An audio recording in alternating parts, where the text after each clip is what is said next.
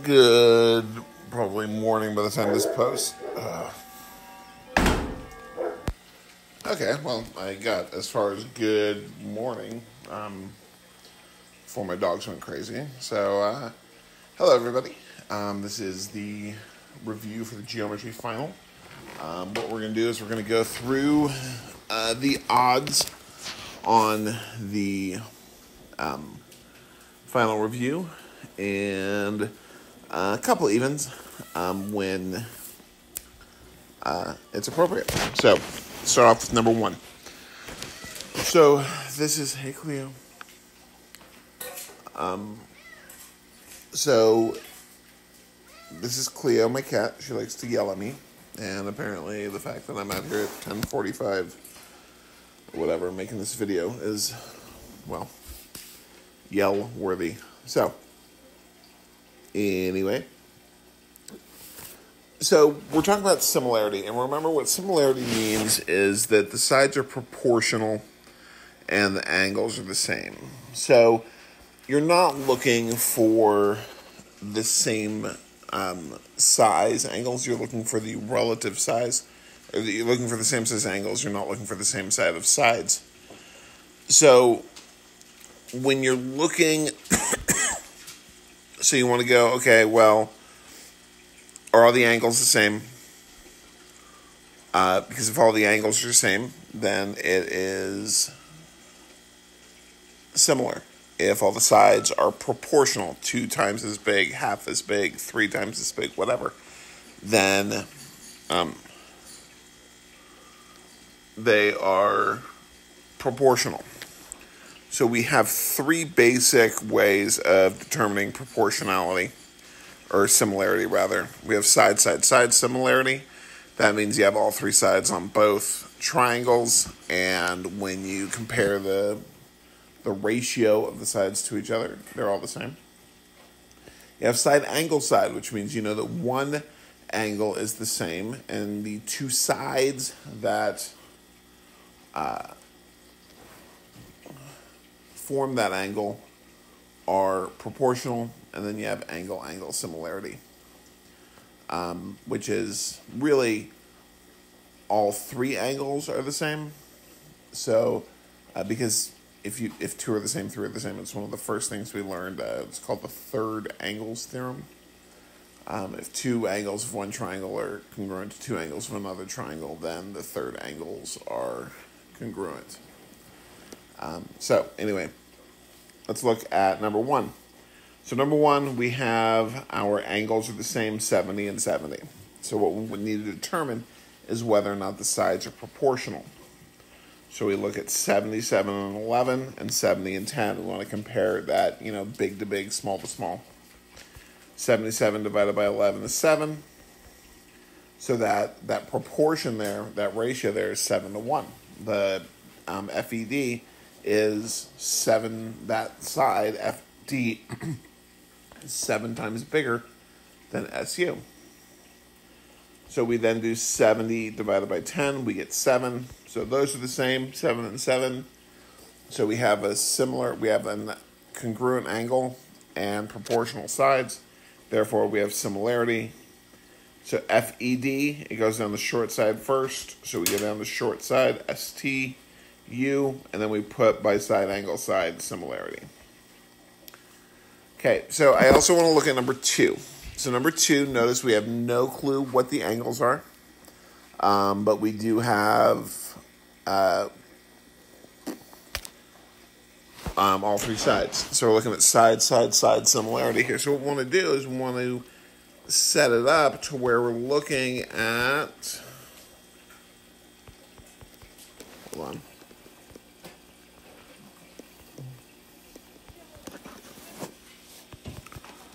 Small, medium, large, small, medium, large on each triangle. So we want to compare the two small sides. We want to compare the two medium sides. This is not being my friend today.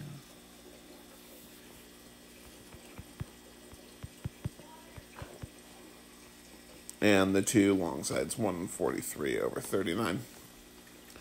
So now what we're going to do is we're just going to see what that ratio is. So we grab our calculator, hit 87 divided by 24, and we get, well, it's 3.625, but.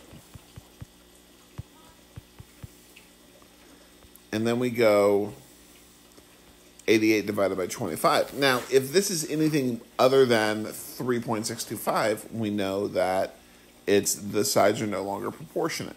If it is 3.625, then we're going to go and we're going to check the third side. And if they all equal 3.65, then we'll know that we have similarity by side, side, side. So here, though, 88 divided by 25 is pain in my butt, 3.52.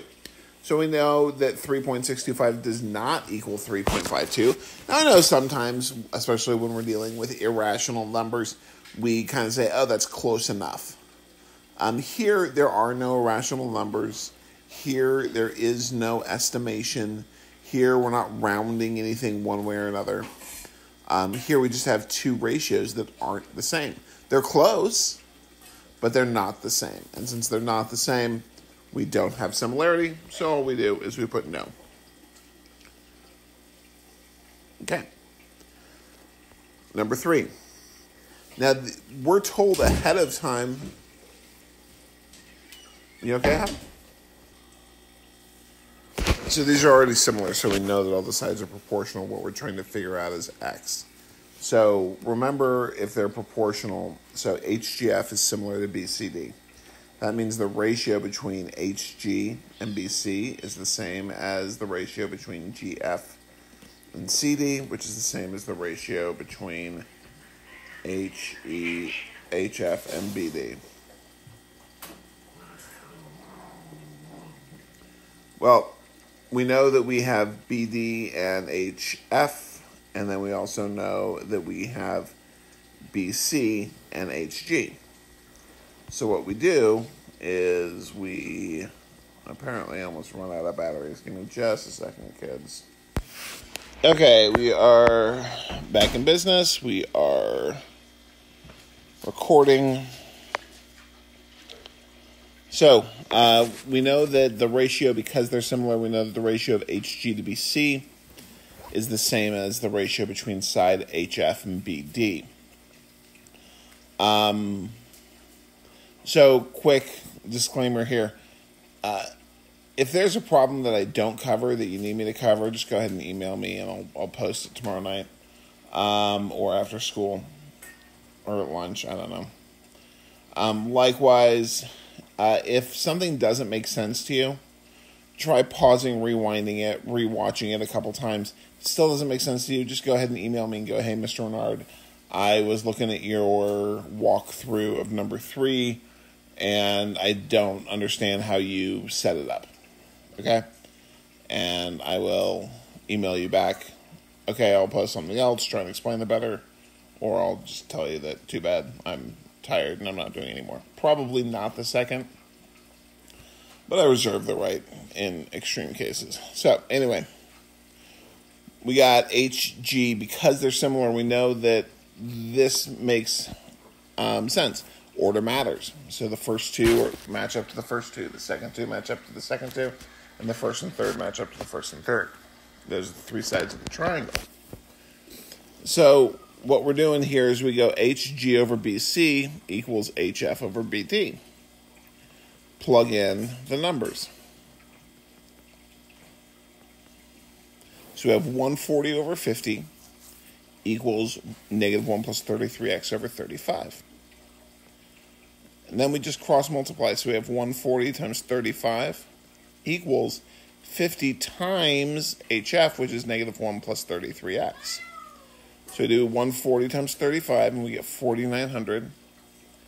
We then distribute that 50 and we get negative 50 plus 1,650x. Add, and then it's just straight up algebra from here on out. Add 50 to both sides.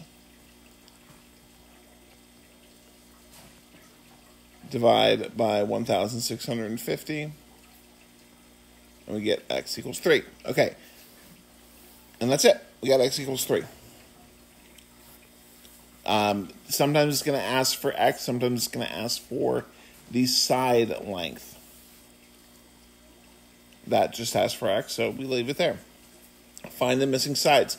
So this next set are those special right triangles we dealt with, the 45, 45, 90, and the 30, 60, 90 triangle. With a 45, 45, 90 triangle, hope you guys remember that the ratio is 1 to 1 to the square root of 2. For some reason, the square root of 2 didn't show up. Um, the legs are the same. So here we know that one leg is 2, so the other leg is also 2.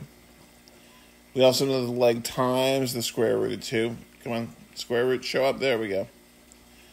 Equals the hypotenuse. So we go 2 times the square root of 2, and we get 2 radical 2. And that's x, and that's it. Literally, that's it. Um, there's a flow chart that you should have um, in your notes. Uh, it's pretty straightforward about you know when to multiply, when to divide, when to you know multiply by the square root of two over the square root of two. Uh, so make sure you have that in your notes. Um, make sure you have the flow chart for both 45, 45, 90 as well as 30, 60, 90 um, in your notes. Number seven. Okay.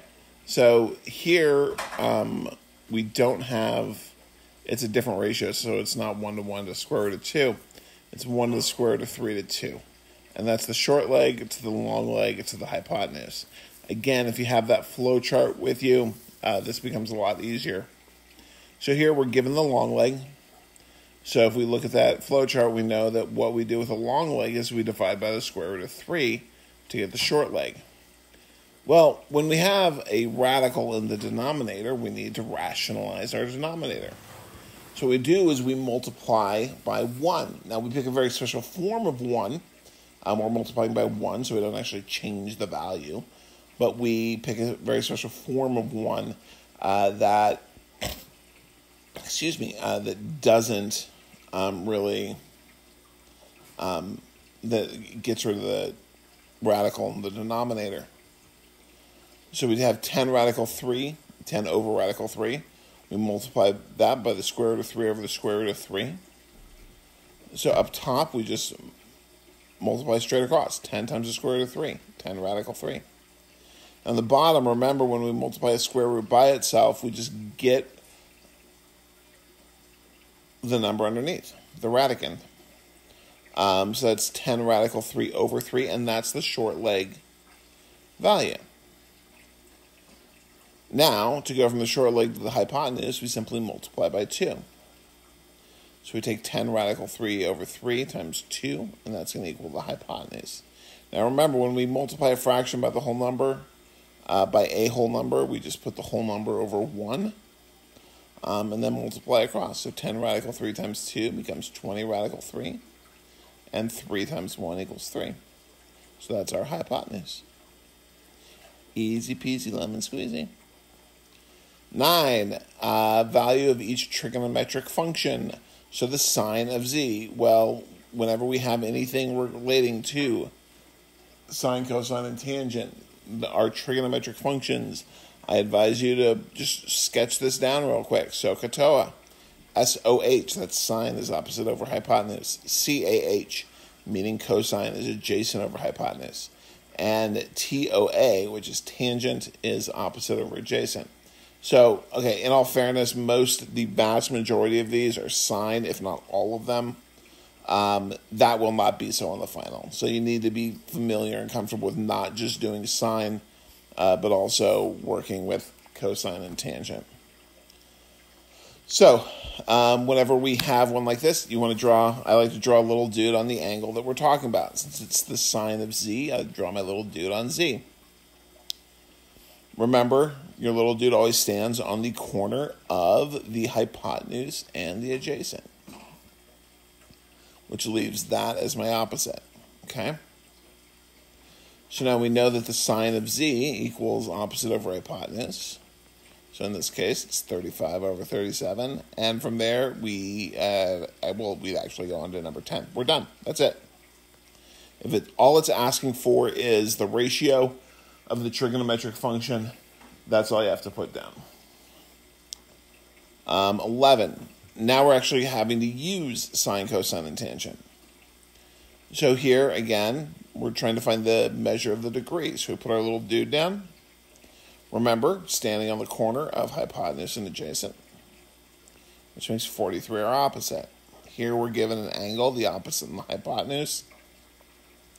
Is that so? Is that ka? Is that toa? Well, opposite in hypotenuse is OH, so that puts me in so, which is sine. So we know the sine of that angle equals opposite over hypotenuse, or in this case, 43 over 45. Now, it's going to take some calculator work. Okay, you cannot do this in your head. So the sine of the question mark equals 0.955555555, and so on and so forth. So it's important to realize that your any given angle has one and only one sine. Like 30 degrees has a sine of one half. Okay, what frequently gets lost in that is that only 30 degrees has a sine of one half. Okay, so it doesn't matter. Um, you know, when we're talking about these uh, trigonometric functions, if I see a sine of one half, I know for a fact that it's got to be 30 degrees. That's just how it works. Um, so if I know that my sine is 0.9555, then I can actually ask my calculator, hey, calculator, what angle has this as its sine? So the way we do that is we hit second sine, and then this pops up, sine to the negative 1 power, open parentheses. You're then going to hit second, and then the negative button, that's at the bottom right-hand corner of your calculator. And then this will pop up. And then you hit enter, and it tells you 72.8. Uh, we're supposed to go to the nearest degree. So it's 73 degrees. Okay, looking at number 13 then. So again, little guy on the corner of hypotenuse and adjacent. That gives me again an opposite and a hypotenuse. So we'll use a different color to distinguish between the two problems. So here we know that the sine equals, again, opposite over hypotenuse, 26 over 39. Plug that into the calculator. We get 0.666666. So it's two thirds basically. And then we hit the second sine, second negative, enter. And it gives us 41.8 degrees or approximately 42 degrees. Remember that the question itself says round to the nearest uh, degree. So if we have 41.8, that is going to round up to 42 degrees.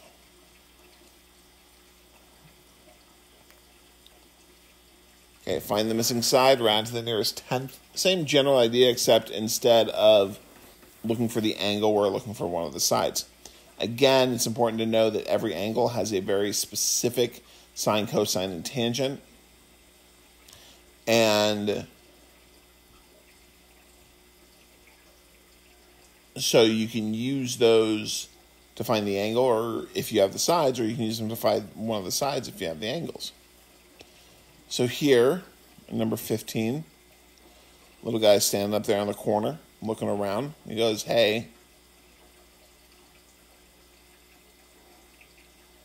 I just completely lost my train of thought and apparently was hitting the wrong button. Okay, so we know the sine of 69 equals opposite over hypotenuse here. Opposite is x, h is hypotenuse, more clearly, 15. So the sine of 69 degrees is x over 15. So what I'm going to do on my calculator is I'm going to hit sine of, or actually what I'm going to do is I'm going to multiply both sides by 15. And so I end up with x equals 15 times the sine of 69. Now, you can actually just type that directly into a Holy interview. I have no like I'm literally falling asleep as I'm doing this. So if I make no sense, please understand that it's just me kind of dipping in and out of sleep, and I really have no control over what I say. So um, you can just type that directly into your calculator 15 sine 69 enter and you get 14 it's like 14.001 but even if we're rounded to the nearest tenth it's just 14.0 um, 17 18 and 19 you're asked to find the sum of the interior angles remember this is done by treating each polygon like a whole bunch of different triangles and knowing that each one of the triangles is 180 degrees. Um, interior angles, sum of. So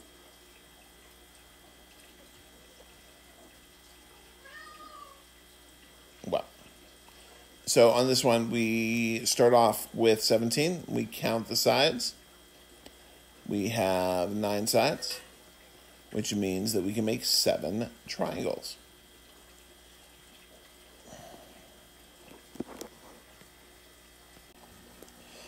Okay, minor technical difficulties, but we're back. So, what we do here is we count the number of sides, that's n.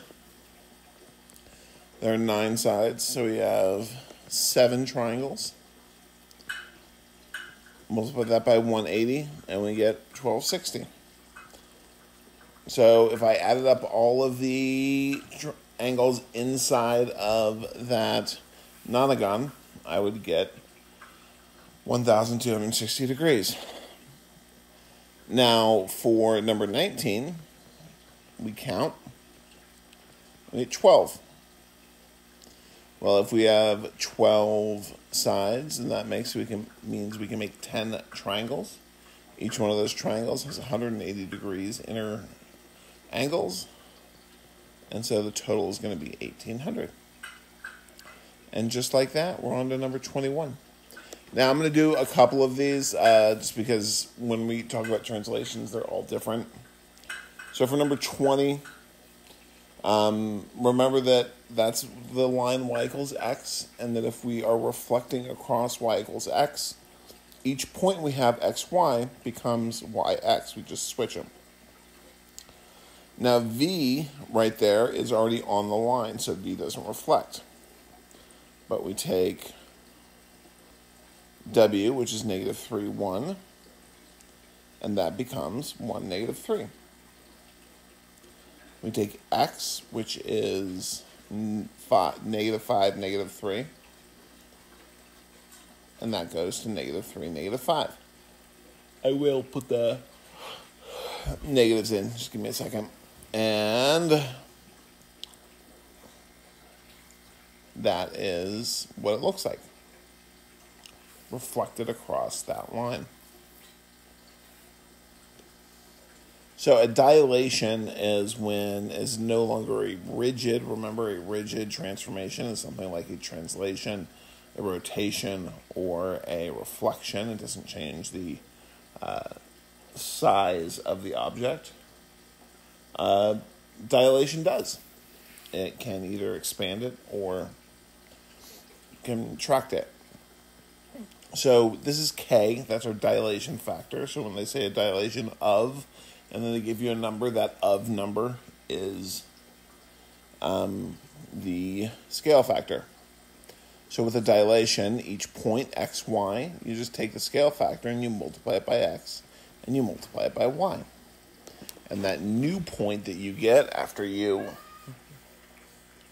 um, after you uh, multiply your x and your y by the scale factor is going to be your new uh, point, your prime point. So W or so what you do, what you can do, oi.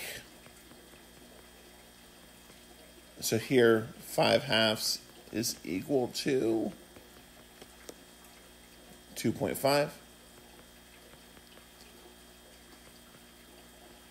So u, the point, is negative 1, 2. v is 1, 2. W is 1, negative 2, and T is 0, negative 2.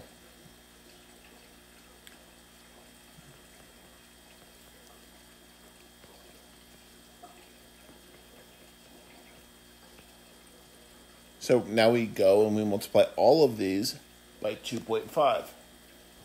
So negative 1 times 2.5, negative 2.5. 2 times 2.5 is 5. And we do that for V. We do that for W. And we do that for T. And then we graph it. Put all our prime points up there. Connect the dots. And there you go. Hey, Cleo. Got a cat literally climbing on the tablet. So, translation. This is a slide. So those posts plus one and plus four there tells you what to do with each one. So here k we have negative four zero. So what we do is we add 1 to the x, it becomes negative 3. We add 4 to the y, we get 4. So what this means is we are moving the entire, or each point in the diagram one unit to the right and four units up. So we go from negative 4, 0 to negative 3, 4. L 1 over 4 up, and j 1 over and 4 up.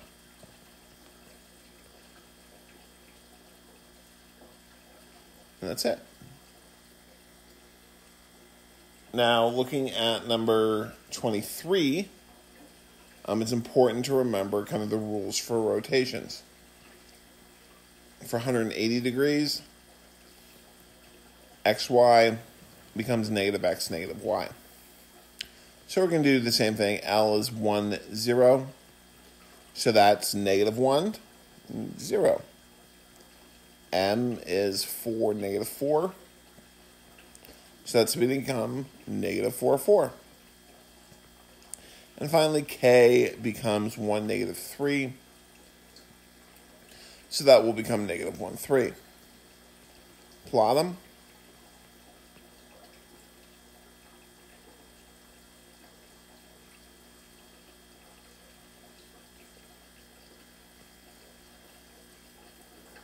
And then on to number 27. So um, on these ones, you really do need to pay attention to, um, you need to have a working knowledge of vertical angles. Those are the bow tie angles um, that are the same. And then also, uh, you know, that half a circle is 180 degrees and be able to just kind of follow those through. So here on number 27, we're looking for CAD, this angle right here. Well, how we're going to do it is we look at BAF. So we know that BAF is 125 degrees. It's a central angle. It's described, the arc described is 25 degrees. Um, 125 degrees. So what we're going to do is we're going to look at the vertical angle of those two um, rays, BA and FA. And they go like that. So we know that CAE is also 125 degrees. Well, CAE is made up of two angles, CAD and DAE. Since we already know that DAE is 70, that means that CAD has to equal 55.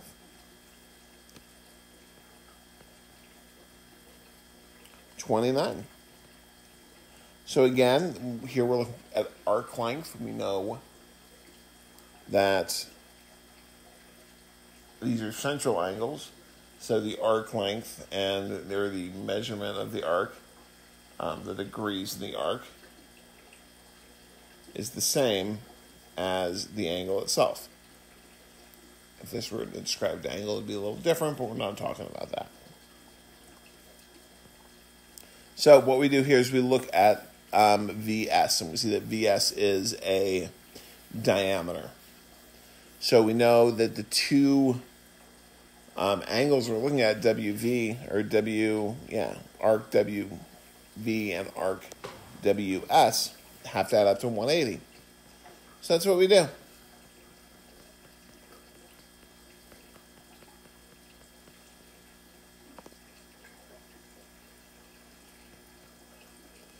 So here we know that x plus 47 plus 147 plus x equals 180.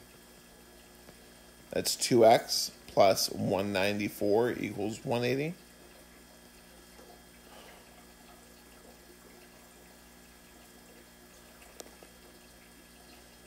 So we add or we subtract 194 from both sides. We get 2x equals negative 14 divided by 2. We get x equals negative 7. That's perfectly okay to have a negative x as long as that doesn't make the entire um, calculation negative. But we're not done because we're asked to find the measure of WV. So we take that negative 7.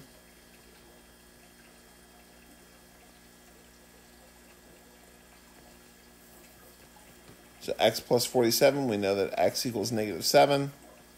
Negative 7 plus 47 is 40. So the measure of arc WV is 40.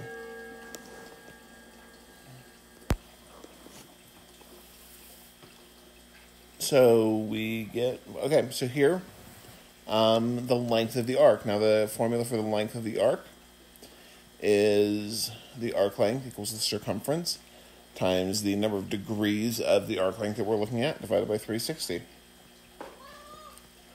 The circumference equals, hey Cleo. What's up, baby girl? So the circumference is 2 pi r. All these were given the radius. So we double the radius here. The radius is 18. So the circumference of the circle is 36 pi miles. So that means that if you went all the way around the circle, you would travel 36 pi miles, which I think is about 81 or so. Oh, it's more than that. So it's about 113.1.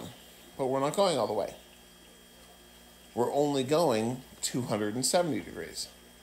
So we multiply that 113.1 by the fraction of uh, what we're actually doing.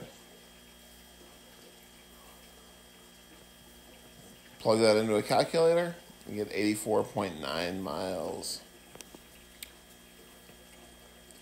31, do the same thing, this time with 18. Or sorry, 33, do the same thing, uh, this time with 11. Uh, we find an approximation of the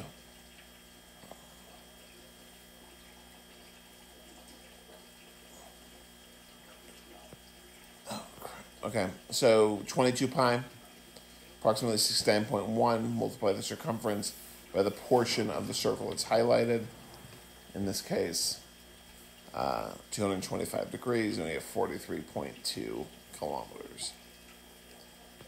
Okay, so it's important here that you remember how inscribed um, angles work. An inscribed angle, which is an angle inside a triangle that doesn't center on the center.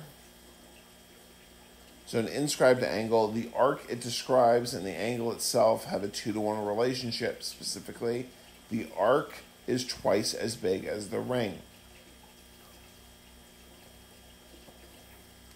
So here we are looking for a number 35.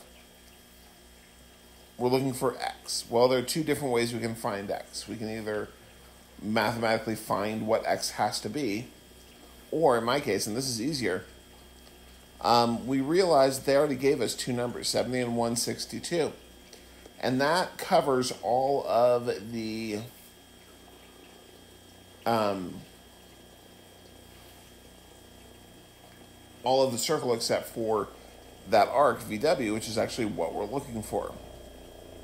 Because we, if we can find that arc of VW, we cut it in half, and that'll give us angle X. So here we know that all of them have to add up to 360. So we go 360 minus 70 minus 162. Turn that into a little calculator moment. And we get the measure of arc VW being 128. Remember, I just said, though, that's the arc. And the inscribed angle is going to be half of the arc. Um, so 128 divided by 2, 64.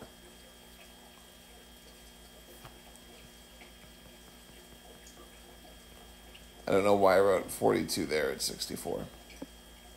The other way you can do it is you can cut in half the arcs they give you, 35, 81, and then subtract 180. Uh, subtract both of those from 180, and again you'll get 64. Number 37. Uh, remember here that the arc is twice as big uh, as the angle. And we're looking for SRT. Notice that SRT is not the arc that we're describing. SRT is everything else. So if we start working our way backwards, one of the things you should see, one of the first things we did was um, just completely lost my train of thought. So anyway, we know we have to find SRT. So if we can find what um, ST is, uh, subtract that by 360, you're good to go. So here, um, we know that the arc is twice the angle length or angle measure. Distribute the two.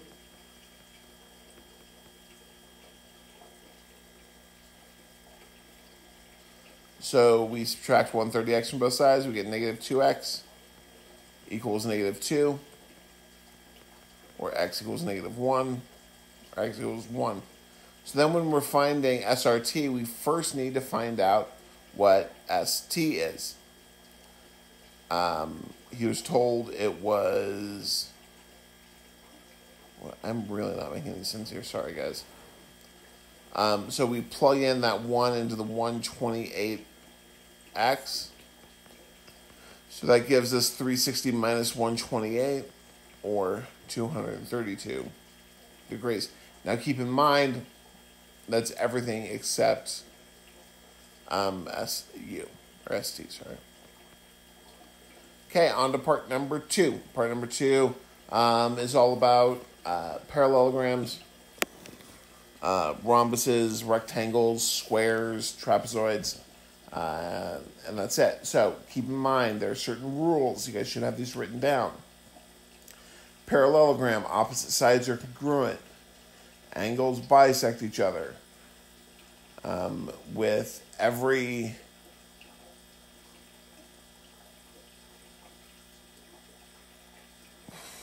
again train of thought. Sorry, guys. Um, so you need to know all of the different properties.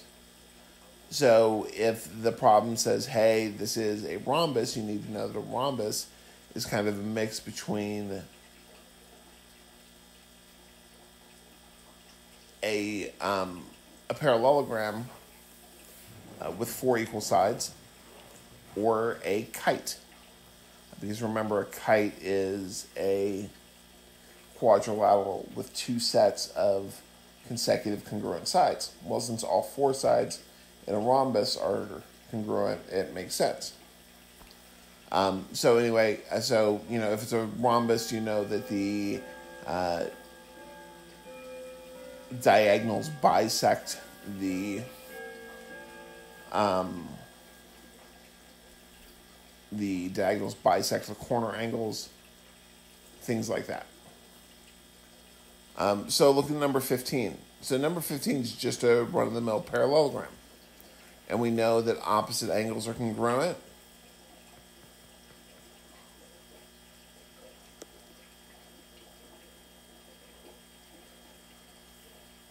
So we have 17. Um, so we just set these equal to each other because opposite angles are equal. 17 equals 4x minus 39. Add 39 to both sides. 56 equals 4x, Divide by 4, and we get x equals 14. Now we're not done yet because we the problem says solve for n. So we go back and plug in our 14 to whichever we think is going to be the easiest um, to do the math. So we have 8 times 14 plus 17.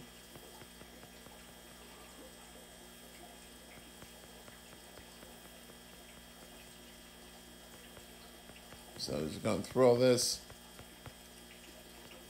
But yeah, so um, so what we did was we found out that angle M and K are both 129 degrees. We knew that where Louis was standing, he was likely to take the brunt of. Again, wow, I'm just like falling in and out of like weird daydream sleeps.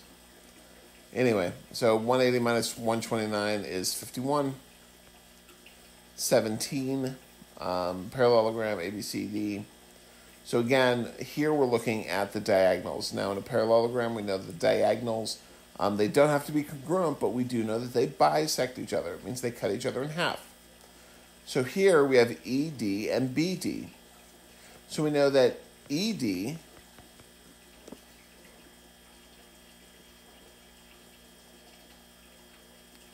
is going to be half of what BD is.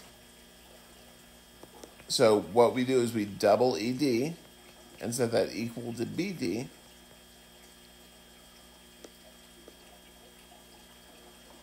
So distribute that 2, so we get 14x minus 13, 26. And again, we're doubling it to get make it equal to the whole thing. And then BD is 16x minus 38. Algebra, we're going to subtract 14x from both sides.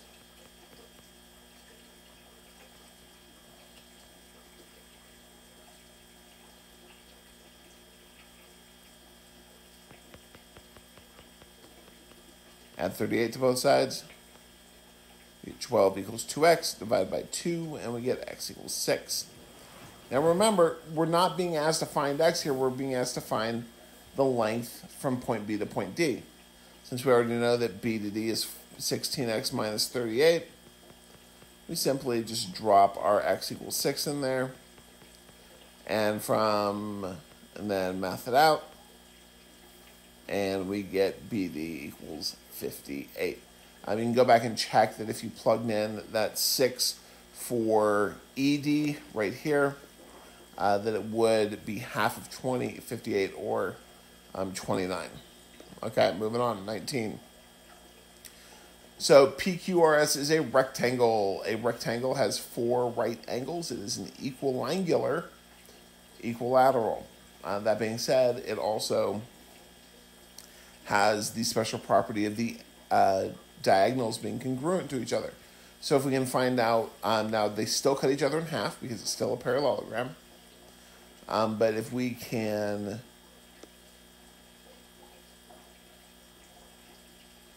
um, so anyway, just to the problem. So here, okay, so unslept my computer again. And here we go. So PQRS is a rectangle. PR, that's one diagonal, and QS, um, they give us two diagonals. Now we just went over the fact that the two diagonals are congruent. So PR is equal to QS. So we just set them equal to each other.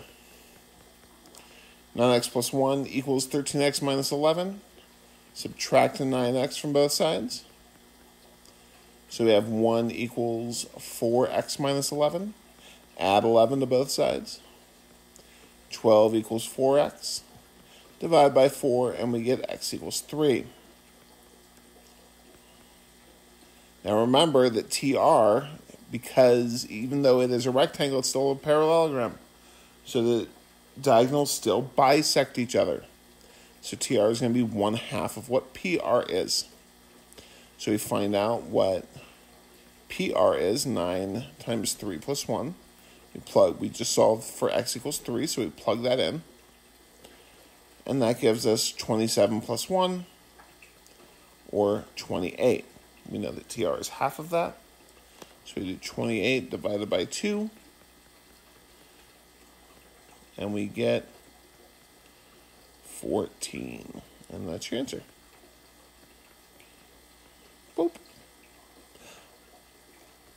On to number 21. So uh, JKLM is a rhombus. So rhombus, when we're talking about the, um, still all the same rules apply for a parallelogram. Opposite angles are equal, consecutive angles are supplementary, uh, diagonals bisect each other, opposite sides are parallel. Um, but we added some new ones. So rhombus, all four sides are the same. And because of that, because it's it's like the kite, so these are inherited from the kite, the diagonals bisect um, the corner angles, and um, the diagonals are perpendicular. Um, so that angle right there in the middle and all four of those are going to be 90 degrees. So JKL, uh, because we know that it's a rhombus, um, we know that uh, the diagonals bisect the corner angles. So those are 36, 36. We also know, um, so 36 plus 36 is 72, JKL. MLK,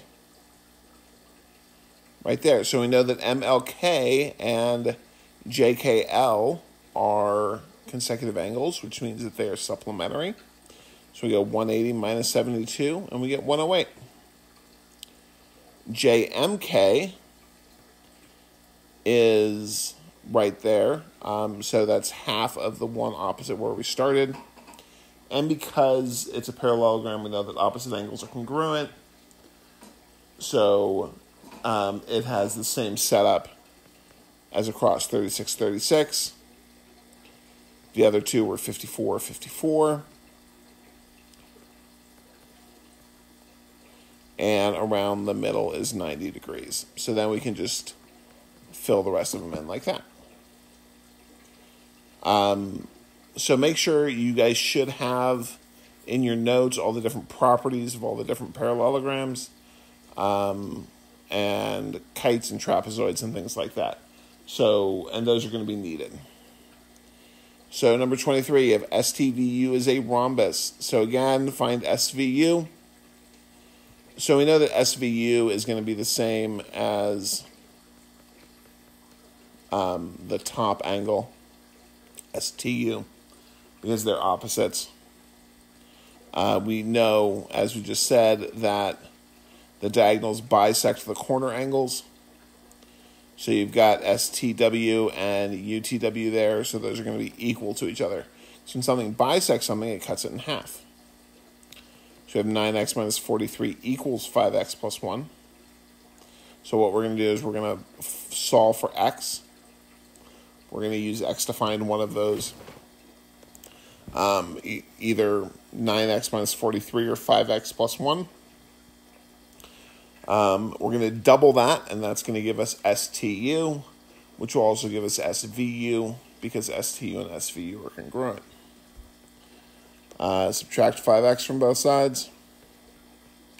So we get 4x minus 43 equals 1. Add 43 to both sides. And we get 4x equals 44. Divide by 4, and we get x equals 11. So what I'm going to do is I'm going to plug that into 5x plus 1. So that's 5 times 11 plus 1. 55 plus 1, or 56. So we know that UTW is 56. Um, if we had plugged in the 11 onto the other side, we would have gotten 99 minus 43, also 56. Um, so together, we double that. We get 112 and that is both STU and SVU. So that's our answer. Number 25, um, squares. So here, squares are pretty easy because um, each one of those little triangles is a um, 45, 45, 90 triangle because it is both a uh, rhombus and a rectangle. So all those rules that we just talked about with rhombuses about the uh, diagonals splitting evenly, the corner angles, about the diagonals being um, perpendicular. All of those things are still true. And then we add in the fact that it's a rectangle as well, so it's equilateral and equal angular. So it means that all four of the corner angles are 90, which when you split them in half makes them 45. So you end up with just a whole bunch of 45, 45, 90 triangles. And then you basically, woo, that's a bit much. So then you can just basically go through and figure out which angle is which. If it's a corner angle or a center angle, it's 90. If it's one of the split angles on the corner, it's 45. So 27. Um, so trapezoids, uh, the important thing to know about trapezoids is that it has one set of parallel lines. And so when you have this, um, like PS right there acts basically as a transversal between those two parallel lines. So you end up having uh, same side interior angles. Well, if you remember from first semester, when two when a transversal crosses two parallel lines, um, same side interior angles are congruent. Um, so we know that each one of the top and bottom angles are supplementary, meaning they add up to 180 degrees. So all we have to do to find Q is subtract 41 from 180. Then we get 139. To solve for S, we subtract 104 from 180. We get 76.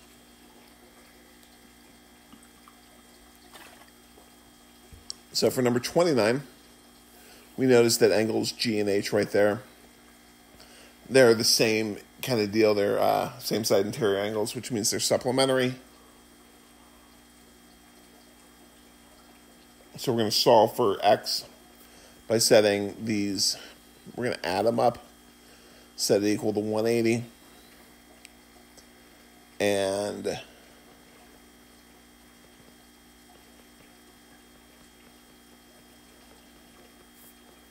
go from there. So 13x equals 156. Divide both sides by 13, and we get x equals 12. Now keep in mind that's not enough um, because we're asked to find angle H, which is 94. So we just take that 12, plug it back in. There we go. For 28 and 30, same general idea. Uh, but because the two um, legs is what they're called, you have the bases and legs and the trapezoid. Because the two legs are congruent, it's an isosceles tri- trapezoid. Um, it means that these two angles, the top and the bottom angles, are the same. Uh, they're congruent. So here, those would be supplementary but H and G are the same. Um, moving on. Okay, so that's it for the review. Um, if you have managed to stick with it and watch all this, I want to give you guys just a little bit of a kind of a heads up or a, a start on how we uh, do this. Um, so when we're looking at a big problem like this, so we have 21 different angles that we have to figure out. Um, we're we're looking with angles, so so we know that our central angles are going to be the same as the arc they describe. We know that our inscribed angles are going to be half the arc that they describe. And we look in there and we see all these triangles, and we know that triangles have to add up to 180. So um, there are a bunch of givens here. So go around and kind of mark off all the givens. And so I'm just going to do a couple of these. So I'm going to start off with um, 16. So see how 16 is a central angle and it describes that 105 degree arc. Well, we know that if it's a central angle, the arc length and the or the arc measure and the central angle measure are the same. So 16 is 105. Likewise, 17 is going to be 27. Now we know that 15, 16, and 17 together, right here, form a straight line. That's 180 degrees. So we go 180, minus 105 minus 27, and that gives us 48. So that 15 is 48 degrees.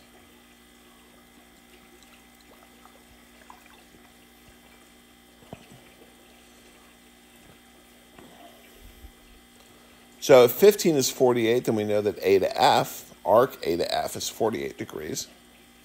And if arc AF is 48 degrees, well, if we look over at angle number 6, we see angle number 6 is an inscribed angle describing a 48 degree arc, which means that it's going to be half of that, or 24.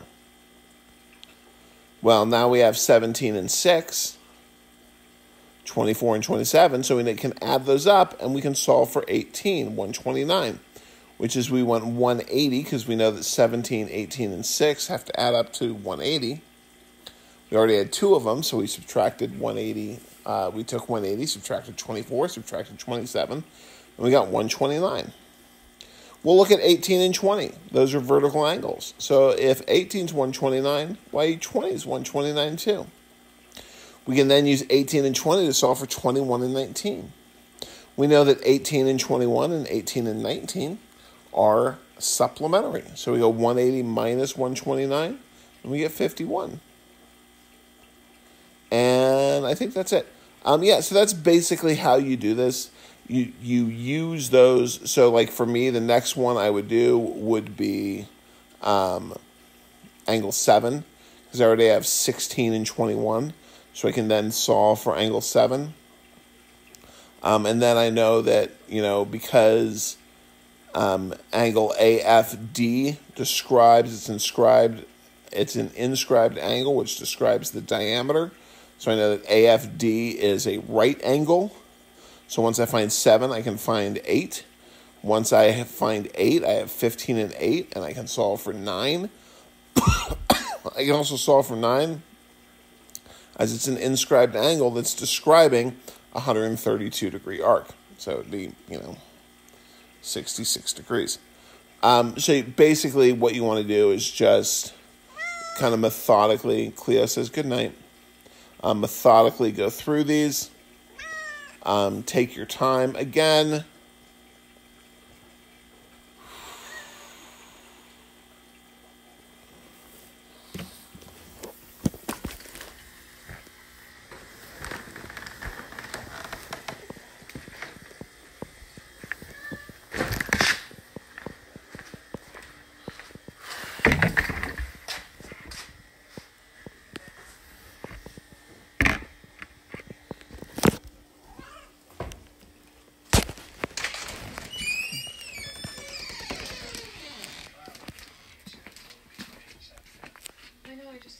is, I have a hunch this one will be negative court.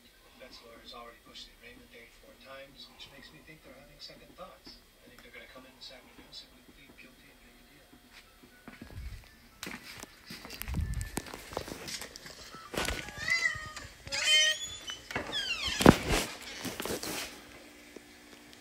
So if you have any questions, go ahead. Uh, email me, come in at lunch. Um, let me know uh, because we got, you know, depending on what class you're in, about you know 72 to 96 hours left uh, to get your grade up. So um, it has been wonderful teaching you all. I hope you all have a good morning, good day, and kick butt on your finals. And we'll see you in class.